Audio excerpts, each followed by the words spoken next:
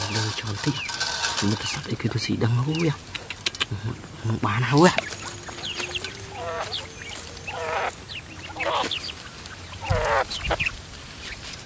Thank you.